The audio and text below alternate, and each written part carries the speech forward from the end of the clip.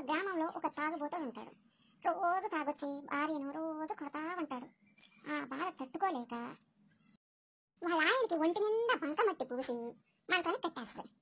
బంకమట్టి పూసేటప్పుడు వాళ్ళ ఆయనకి అబ్బా ఊరుకోవే అబ్బా ఊరుకోవే చక్కగా ఇక్కడ పడుతుంది అబ్బా ఊరుకోవే చక్కగా పడుతుంది అంటాడు. తాగి మొత్తం ఏం తెలియదు అనమాట తెలియక ఊరుకోవే ఇప్పుడేంటి? అంటా ఉంటాడు. అయితే అలాగ చక్కగా బంకమట్టి అంతా పూసేసి మంచానికి కట్టేస్తుంది.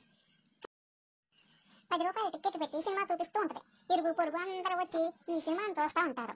చూసి తిట్టుకుంటా చూచు అనుకుంటా వెళ్తా ఉంటారు. వెళ్తా ఉంటే అప్పుడు వీళ్ళు బయటకు వస్తారు కదా పగులు?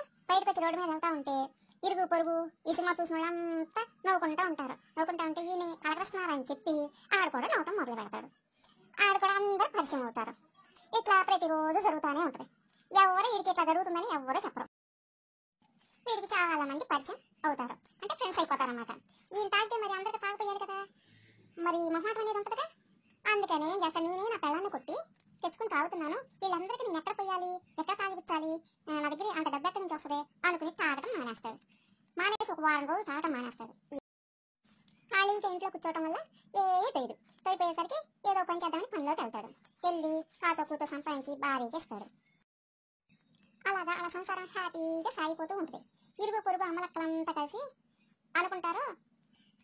ఏం మాయ చేసిందో ఏం చేసిందో. భర్తను మార్చేసింది.